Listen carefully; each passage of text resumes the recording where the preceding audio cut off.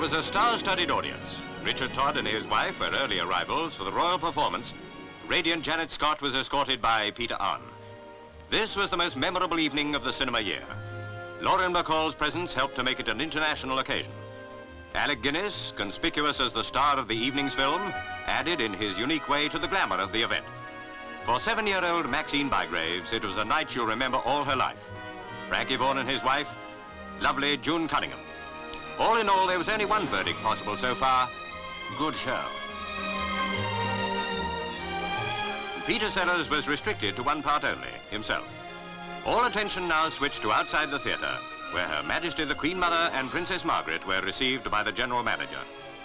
Inside the doors, the President of the Cinematograph Trade Benevolent Fund, Lord Rank, received the royal visitors and introduced Mr. Bromhead, Chairman of the Fund, and the Chairman of MGM, Mr. Goldsmith.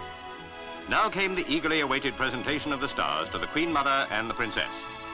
After Max Bygraves was Maurice Chevalier, veteran in years, forever young in heart. Her Majesty delighted him by speaking in French.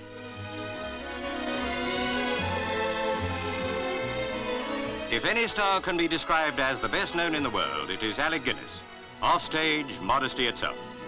Janette Scott received a gracious word from the Queen Mother, whose charm put all at their ease. As on many similar performances, Richard Todd was now presented.